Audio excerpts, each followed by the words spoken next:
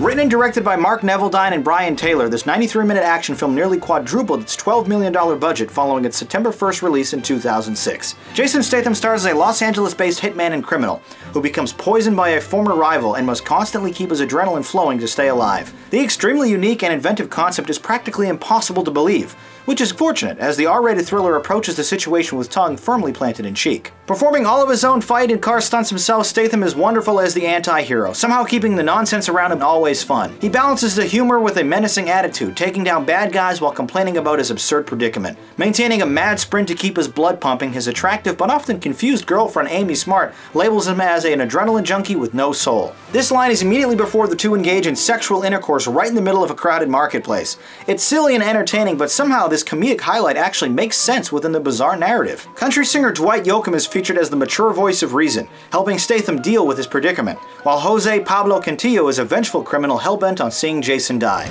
If I'm right, they gave you the Beijing cocktail. Very nasty shit. Works in the adrenal gland, blocks its receptors. The only thing you can do to slow it down at all is to keep the flow of adrenaline constant. Meaning, if you stop, you die. Hang on! Jesus, what? Are you there? Are you okay? What? Did you say, Doc?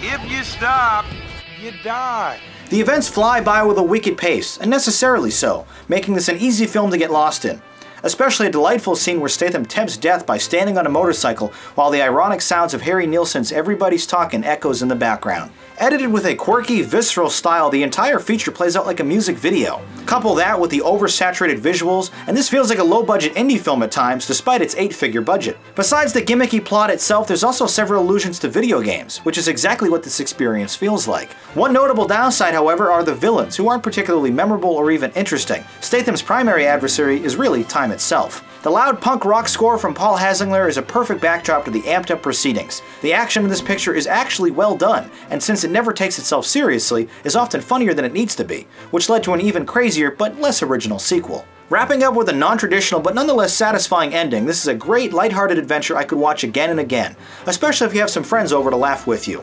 Crank, ridiculous extravaganza with flashy style. Here are some of your thoughts now from the YouTube comments.